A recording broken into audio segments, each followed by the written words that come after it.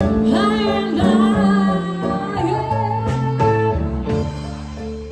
better stand it, you're running around, you know better.